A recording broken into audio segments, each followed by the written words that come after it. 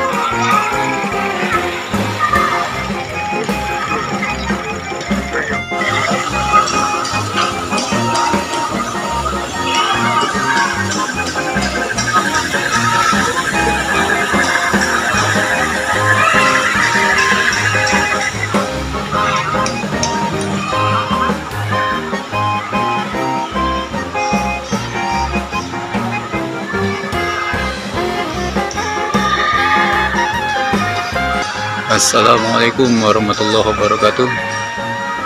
Ini bagian dalam Masjid Tangerang Raya Yang dulunya masjid pertama kali Pondok Pesantren Cilongok Kemudian direnovasi Dengan mengambil bentuk bangunan Masjid Agung Banten di Serang Lama. Subhanallah ini bentuknya klasik luar biasa Masya Allah.